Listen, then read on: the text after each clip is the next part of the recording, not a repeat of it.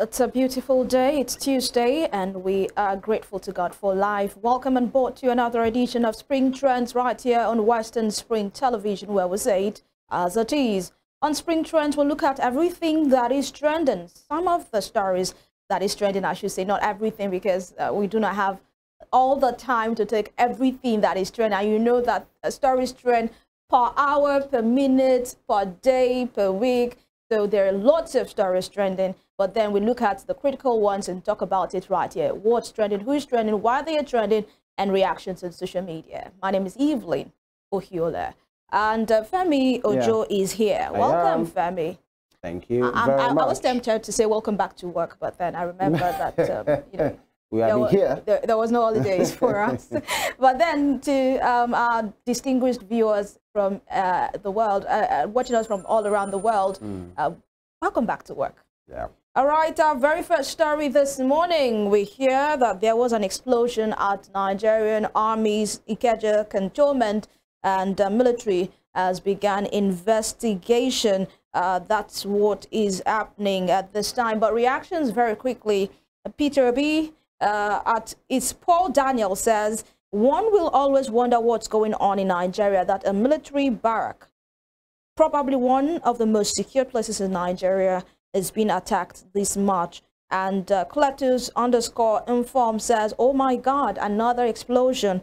The other one sometime years back at that Ikeja cantonment is still lingering in our memories. And ex-boy 10 says again in 2024, God save us. Uh, this is not um, a good story, I should say, especially with uh, in a location that is that, that is considered as uh, somewhere that's supposed to be very secured. Yeah. You know, you know, military cantonment in Ikeja, and this is not the first time it's happening. Mm. Femi, your thoughts? It, it, it's uh, bad. By the way, I think we have to really take a chill pill a bit. Let's confirm if it's an attack or just some explosive that went off, or the yeah. you know, if this thing has happened yesterday, you know, possibly earlier in the day, people will have thought it was April Fool prank or something or a news because at the mention of Ikeja cantonment um, uh, bomb blast, you know, you can easily pick what happened years ago, you know, with that bomb blast on that very sad night. Yeah. I think it was a Sunday night, or thereabout, if I can remember. Now, this happening at this time again. We have to wait for uh, the people or the agencies involved to tell us what really happened. Was there an attack? Because that is going off, or the blast of, or a thick sound somewhere I think because of what we have been used to mm. in the last five, six years, 10 years, we just feel every sound that is disturbing is an attack. It might not be, it might be, we have to wait for it. But then is we must do what we have to do to make sure our society is safe. We don't have to put people under undue pressure. Yeah. If there are outdated IEDs or explosives, mm. whatever, that are, you know, that are supposed to have been done away with, let them just do that if that is the situation. But I think it's quite um, um, too early to call it an attack. All right. Especially in Ikeja. Mm. Yeah, yeah. Moving to the next stories, um, that particular story, fingers crossed um, as to um, what the updates we are going to get uh, from that uh, story. But um, moving on, we hear that the authorities of the University of Ilorin Kwara State have expelled five students and rusticated 14 others for malpractice. Now, the among the sanctioned students were six final year students. This is sad. Now, the university's director of corporate affairs, Kunle Akogun, said in a statement on Monday that the expulsion of the 19 students were found guilty of various offenses such as misconduct, theft, examination malpractice, hostile bed space racketeering and extortion, beating a fellow student, admission racketeering, extortion, and assaults. Uh, let's just take reactions of uh, people on social media. Rita ENG1234 says, it is very disgusting knowing that you are being led by criminals who steal in billions, yet only petty thieves get the wrath of the law. Nigeria, my country, I hail. And Anila says, expelled for bed space racketeering really surprised me. And Oseni Aziz Owolabi says, the final year will be the saddest. Imagine you spent lots of money from 100 level till final year and school is very costly now. Femi, what do you think? Because um, for me, I'm I'm an advocate of um, actions have consequences. Yeah. Now, another discussion is whether these consequences tally with the action, you yeah. know, that was done. Because bed space racketeering, I mean, yes, it's bad, but I think probably, I don't know, but then Possibly. your thoughts? Yeah, I don't like a Buhari government that didn't want to remove subsidy. They have passed it on to the Tinubu's government. You know, um, yeah, actions have consequences, and good deeds should have rewards as well. You know, that's it. But then um, racketeering, it's a bad thing enough. That's people making sharp gains due to you know uh, the prevailing circumstances in any situation. But then, if because of racketeering is enough to terminate somebody's studentship status, is another kettle of fish. Yeah. If there is a law to that in that school, it's a different thing to say, um, I didn't know, be ignorance or whatever. But if you know, like the school I went to, especially in the early years of that school, it was said that anybody involved in examination malpractice, you are going home. It's as simple. Now, if it's commensurate, is another thing. You can let that person forfeit that semester or forfeit that course because that's what's done in some places, Yeah. or you automatically have an extra semester. Yeah. But in that school, because they they don't want people to even think about it, you know anything that makes it makes you to be caught and it was confirmed that yes you are involved Mm. just go to the hostel pack your stuff and go out you are no more um, uh, a student, student. of that school but later i remember towards the my final year it was relaxed a bit to say mm. whenever you are caught you are forfeiting the whole of, Of the, the semester. Session. so that person that particular semester, Semester. so uh-huh. that person has the opportunity to give it a shoot again. That is after going through some embarrassing stuff by the way to make you to know that what you have done is bad enough. But if there is that law in that school and you know even if you don't know you know, they will tell you you have student handbook. Those things are there. If you read or not, is another kettle of fish. Mm. Yeah, yeah. But then it's not just about the racketeering. I think violence or some things are involved in Beating some the person's students, case. Beating, you examination know, if you fight, malpractice and all should- of that. Let's see. Eh, don't let's explain bad habits Yeah. away. We have reformative approach to things. I know that one. But don't let's uh, uh, explain. Somebody made a tweet and said the big guys are stealing billions. It's only petty guys that are. Do- It's bad enough that those ones are stealing, and it's bad, and we are hoping they will be caught someday. Yeah. But the ones don't explain it away. In as much somebody is stealing billions, if I take five naira, I'm not a thief. Oga, you be thief, and you should not be doing that.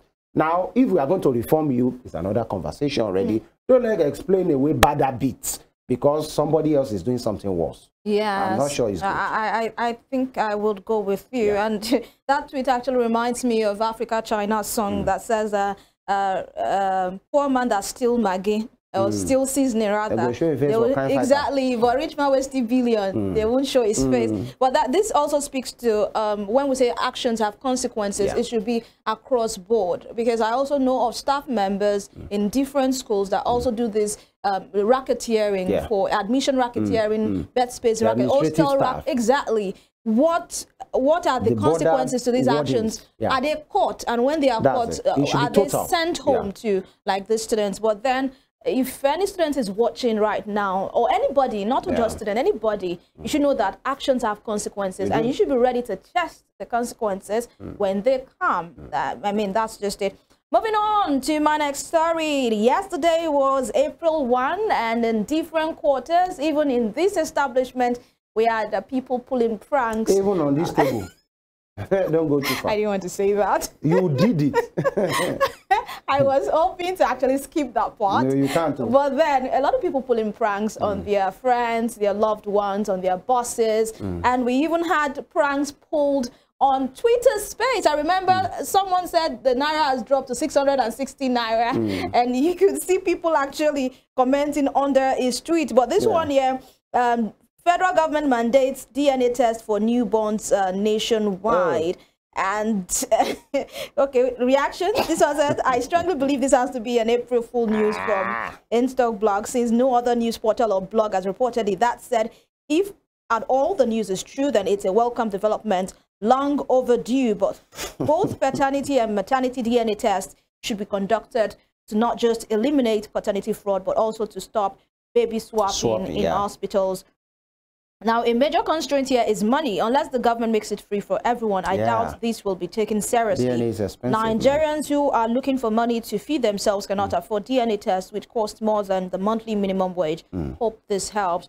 And um, wrote to Rich Auntie says, very good. Growing up, I used to think married women do not cheat, that only the men does. But with the news of paternity fraud everywhere, I was actually delusional. And I should state here that cheating is not gender-based. Men cheat, women cheat. So far, you're a human being Human beings. and cheat. cheating is a choice. So if you choose to, Ah. you do it. And uh, Tessie says, if the federal government mandates DNA tests for newborns nationwide, that means another chapter for serious husband and wife problems depending on the result. The Nigeria FG will now budget 100 trillion naira for DNA tests every year.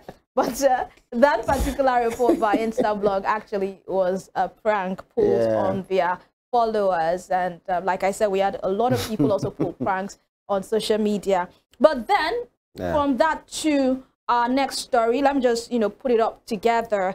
Uh, we actually have a case of paternity fraud. You know, we just talked about um, this prank pulled by Instablog saying that, you know, federal government mandates DNA test for uh, uh, uh, newborns. Now, a Nigerian man, Kola Olarewaj, discovered that none of his four children belong to him after 16 years of marriage. The children are aged 16, 12, 8, and 5 years old. What is your take on this?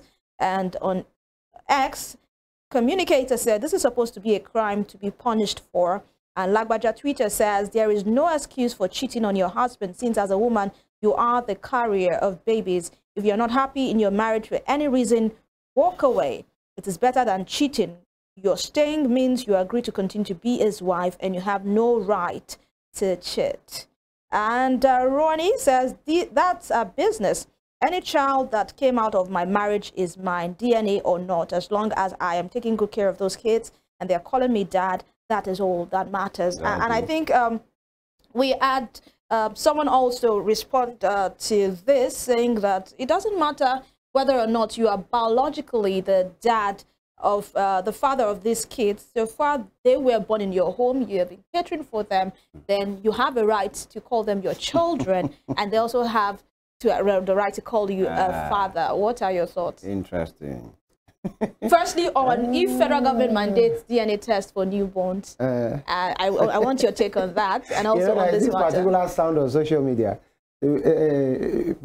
Uh, skit makers usually use it whenever Mm. something's up. They will say, dead body goes surplus. If the federal government dare do that, Yeah. man, well, it speaks to where we have found ourselves.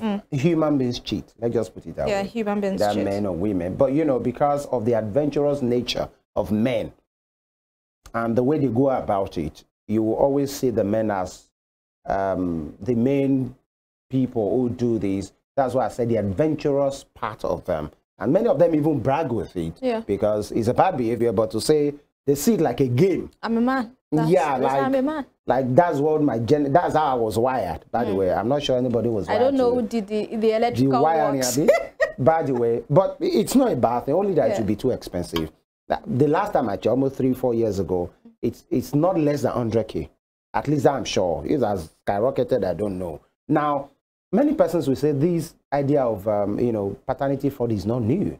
Maybe social media is just making people to be more Aware, aware. yeah. You know, you know, we're joking one day. Do you know if actually 30, 40, 50 years ago, if this DNA thing was taken far back and say every child should come and do DNA with their fathers, many firstborns will not be their where they claim child. father's inheritance, you know, go get nothing because not be their papa boy. Yeah. These are the issues now. But it's not a joke. We should behave. If you have issues, and but then let's just take it to this last tweet. 16 year old marriage, at least. At least coming together. We don't know if they are married or not. Yeah. 16, um, 12, 8, 8 and and four. 4. And all of them are, they didn't belong to the man. Like, I, I want to think maybe they have done it again. If they have not done, let them repeat it. Second opinion, third opinion, because that's too much. It's not explainable.